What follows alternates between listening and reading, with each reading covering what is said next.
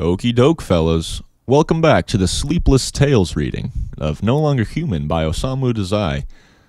We're on part six of the reading, which is uh, the third notebook and the second half of it. For me, that's starting on page 112. Don't forget to like, comment, favorite, subscribe, and uh, let's get into the reading. All right, let's go. Um, so previously, we had um, the one girl come in from Horiki's house, and she immediately hits up main character fella, and she says, "I'm to give you a ride home." So that's where we are right now. She was born in Koshu and was 28. She lived in an apartment in Koenji with her five year old girl. She told me that her husband had died three years before. You look like someone who's had an unhappy childhood. You're so d- sensitive. More's the pity for you. I led for the first time the life of a kept man. After Shizuko, that was the name of the lady journalist, went out to work in the morning at the magazine publishers. Her daughter, Shigeko, and I obediently looked after the apartment.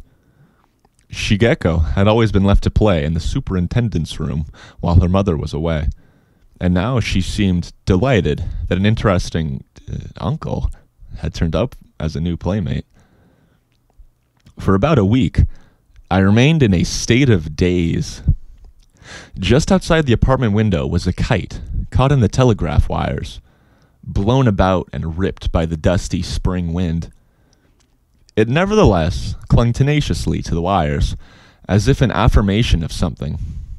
Every time I looked at the kite, I had to smile with embarrassment and blush. It haunted me, even in dreams. I want some money. Uh, how much? she asked. A lot.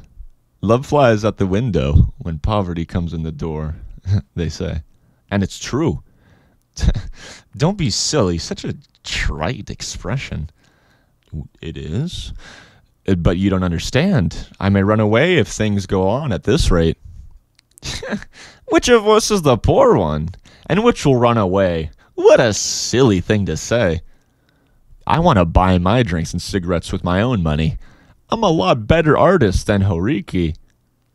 At such times, the self portraits I painted in high school, the ones Takeichi called ghost pictures, naturally came to mind. My lost masterpieces. These, my only really worthwhile pictures, had disappeared during one of my frequent changes of addresses. I afterwards painted pictures of every description, but they all fell far, far short of these splendid works as I remembered them. I was plagued by a heavy sense of loss, as if my heart had become empty. The undrunk glass of absinthe. A sense of loss, which was doomed to remain eternally unmitigated stealthily, began to take shape. Whenever I spoke of painting, that undrunk glass of absinthe flickered before my eyes. I was agonized by the frustrating thought if only I could show them those paintings, they would believe in my artistic talents. Do you really? You're so adorable when you joke that way with that serious face. But it was no joke. It was true. I wished I could have shown her those pictures. I felt an empty chagrin, which suddenly gave way to resignation. I added, uh, ca- Cartoons, I mean. I'm sure I'm better than Horiki at cartoons, if nothing else. Those clownish words of deceit were taken more seriously than the truth. yes, that's so. I've really been struck by those cartoons you're always drawing for Shigeko. I've burst out laughing over them myself. How would you like to draw for our magazine? I can easily ask the editor. Her company published a monthly magazine, not an especially notable one for children. Most women have only to lay eyes on you to want to be doing something for you so badly they can't stand it. You're always so timid, and yet you're funny. Sometimes you get terribly lonesome and depressed, but that only makes a woman's heart itch for you all the more. Shizuko flattered me with these and other compliments, which, with the special repulsive quality of the kept man, I calmly accepted. Whenever I thought of my situation, I sank all the deeper into my depression and I lost all my energy. It kept preying in my mind that I needed money more than a woman, that any way I wanted to escape from Shizuko and my own living. I made plans of every sort, but my struggles only enmeshed me the more in my dependence on her. This strong minded woman herself dealt with the complications which developed from my running away and took care of almost everything else for me. As a result, I became more timid than ever before. At Shizuko's suggestion, a conference took place attended by Flatfish, Horiki, and myself, at which it was concluded that all relations between me and my family were to be broken, and I was to live with Shizuko as man and wife. Thanks also to Shizuko's efforts, my cartoons began to produce a surprising amount of money. I bought liquor and cigarettes, as I had planned, with the proceeds. But my gloom and depression grew only the more intense. I had sunk to the bottom. Sometimes, when I was drawing The Adventures of Kinta and Ota, the monthly comic strip for Shizuko's magazine, I would suddenly think of home and this made me feel so miserable that my pen would stop moving. And I looked down through brimming tears. At such times, the one slight relief came from little Shigeko. By now, she was calling me Daddy with no sign of hesitation. Daddy, is it true that God will grant you anything if you pray for it? I thought that I, for one, would like to make such a prayer. Oh, Vouchsafe unto me a will of ice. Acquaint me with the true natures of human beings. Is it not a sin for a man to push aside his fellow? Vouchsafe unto me a mask of anger. Uh, yes, I'm I'm sure he'll grant Shigeko anything he wants, but I don't suppose Daddy has a chance. I was frightened, even by God. I could not believe in his love, only in his punishment, faith. That I felt was the act of facing the tribunal of justice with one's head bowed to receive the scourge of God. I could believe in hell, but it was impossible for me to believe in the existence of heaven. Uh, why haven't you a chance? Because I disobeyed what my father told me.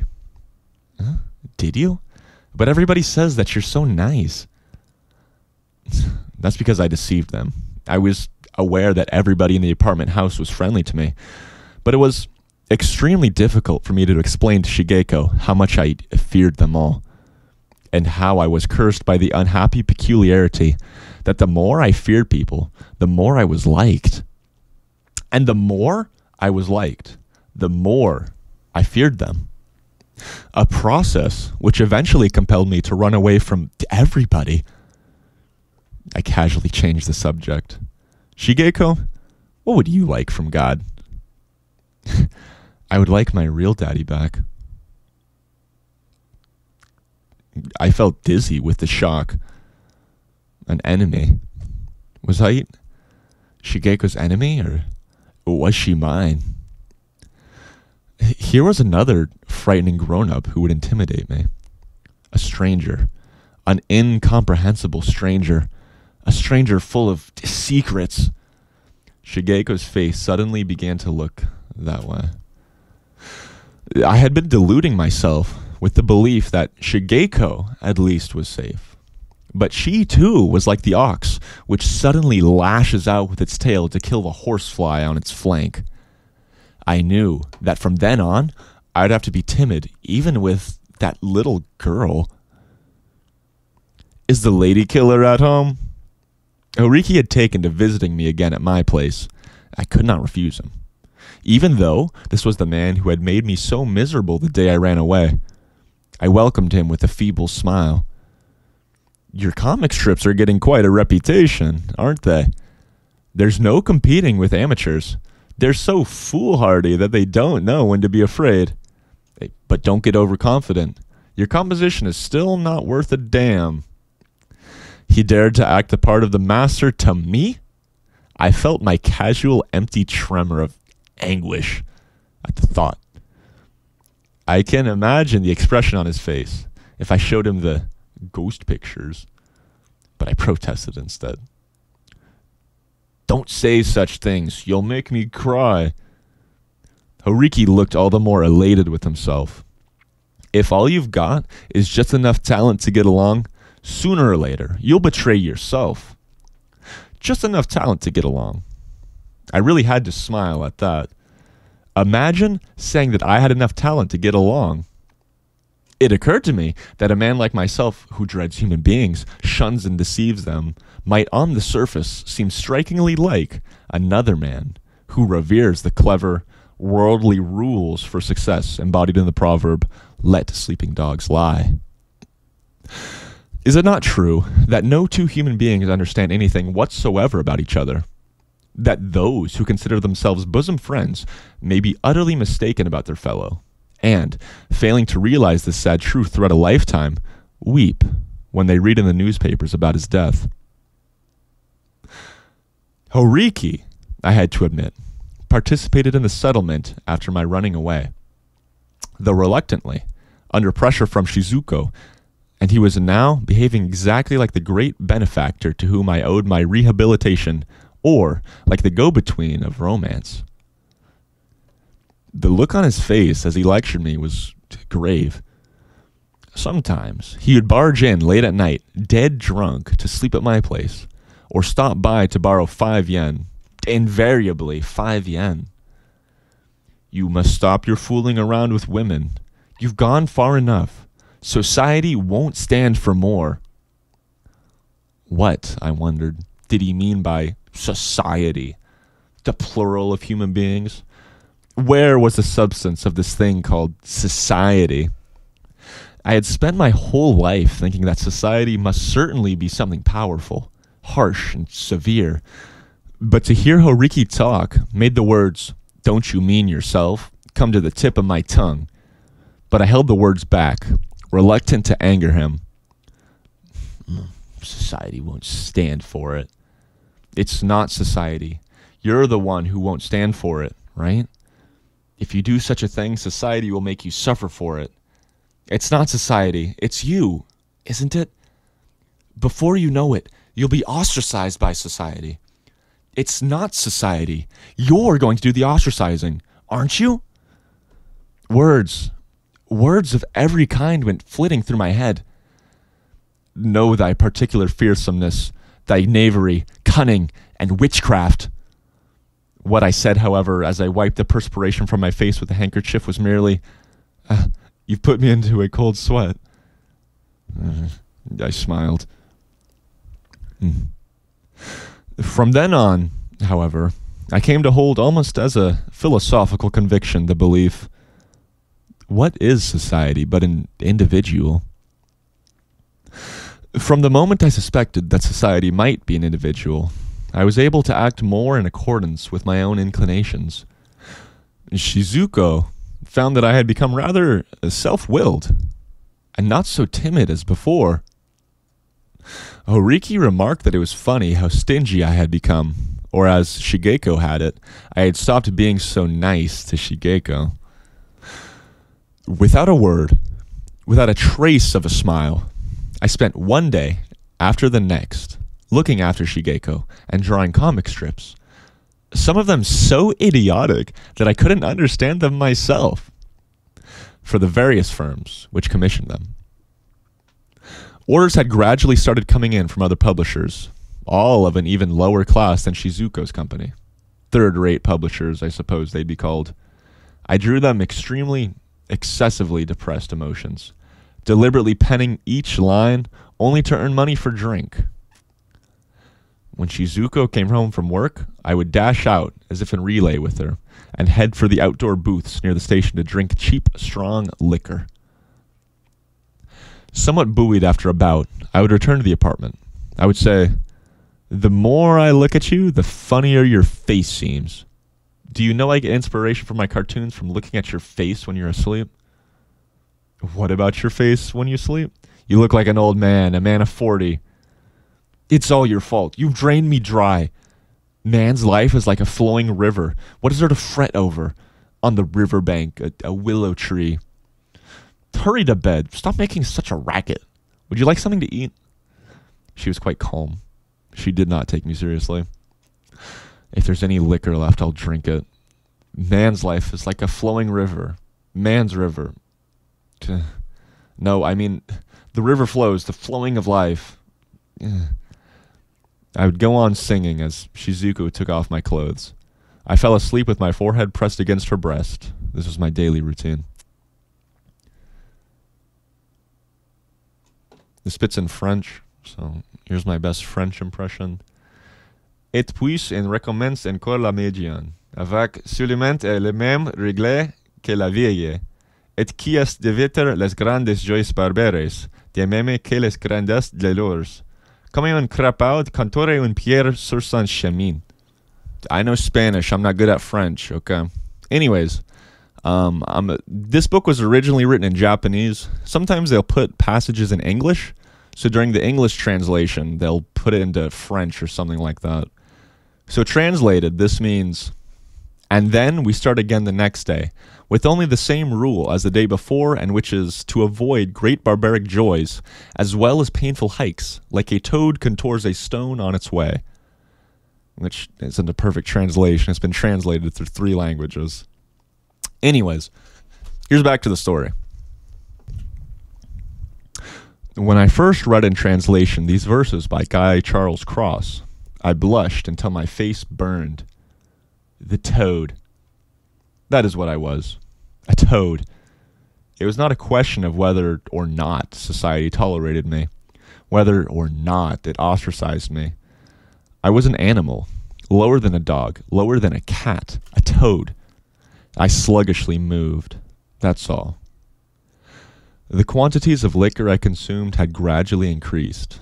I went drinking not only in the neighborhood of the Koenji station, but as far as the Ginza.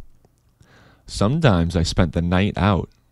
At bars, I acted the part of the ruffian, kissed women indiscriminately, did anything as long as it was not in accord with accepted usage, drank as wildly, no, more so, as before my attempted suicide. Was so hard pressed for money that I used to pawn Shizuko's clothes. A year had passed since I first came to her apartment and smiled bitterly at the torn kite. One day, along when the cherry trees were going to leaf, I stole some of Shizuko's underrobes and sashes and took them to a pawn shop. I used the money they gave me to go drinking on the Ginza. I spent two nights in a row away from home. By the evening of the third day, I began to feel some compunctions about my behavior and I returned to Shizuko's apartment. I unconsciously hushed my footsteps as I approached the door, and I could hear Shizuko talking with Shigeko. Why does he drink?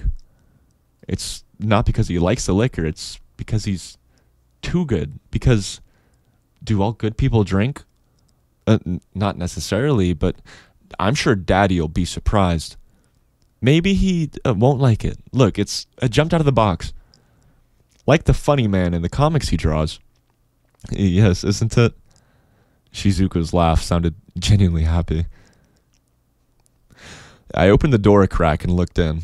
I saw a small white rabbit bounding around the room. The two of them were chasing it. They were happy, the two of them.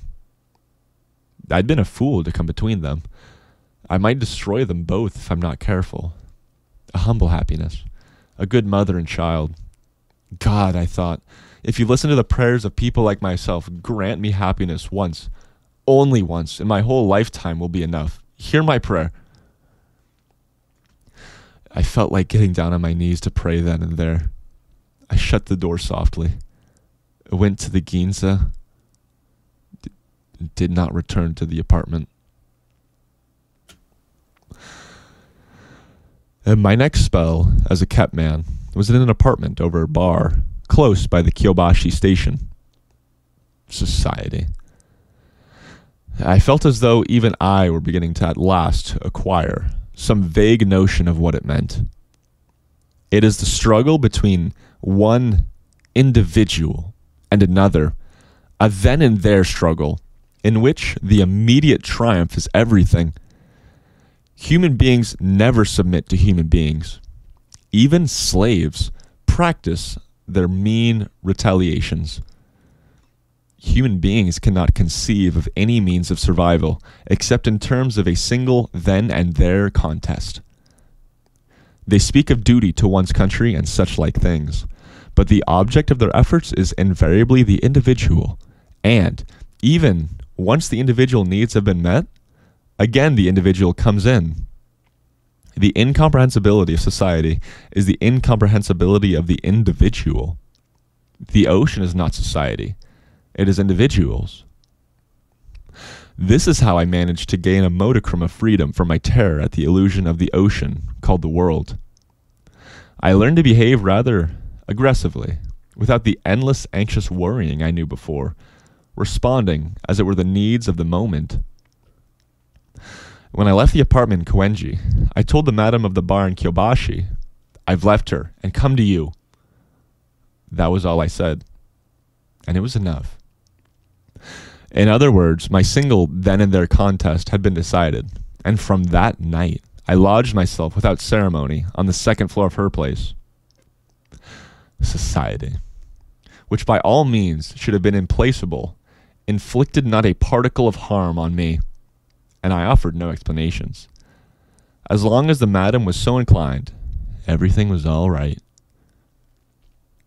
At the bar, I was treated like a customer, like the owner, like an errand boy, like a relative of management.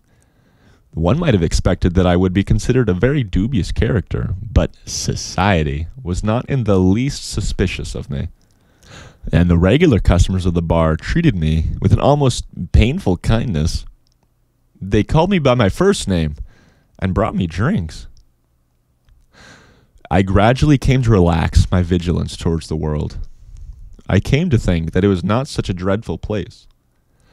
My feelings of panic had been molded by the unholy fear aroused in me by such superstitious of science as the hundreds of thousands of whooping cough germs borne by the spring breezes, the hundreds of thousands of eye destroying bacteria which infect the public baths, the hundreds of thousands of microbes in the barber shop which will cause baldness, the swarms of scabious parasites infecting the leather straps in the subway cars, or the tapeworm fluke, and heaven knows what eggs that undoubtedly lurk in raw fish and in undercooked beef and pork. Or the fact that if you walk barefoot, a tiny sliver of glass may penetrate the sole of your foot and, after circulating through your body, reach the eye and cause blindness.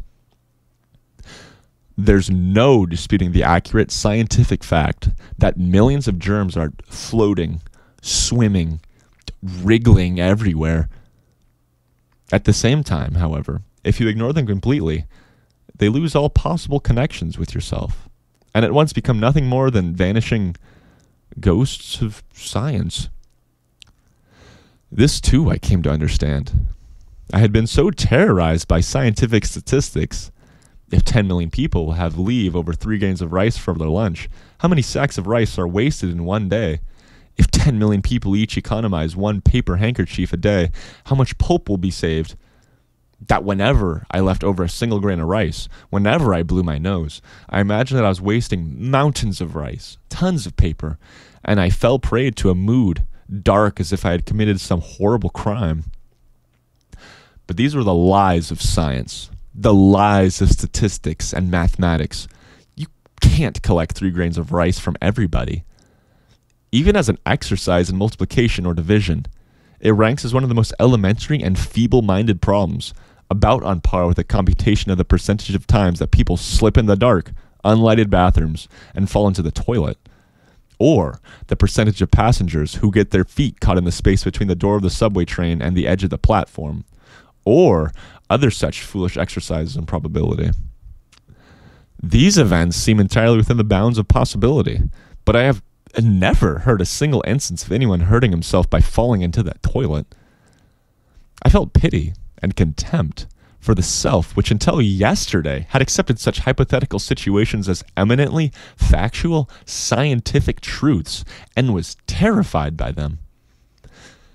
This shows the degree to which I had bit by bit arrived at a knowledge of the real nature of what is called the world.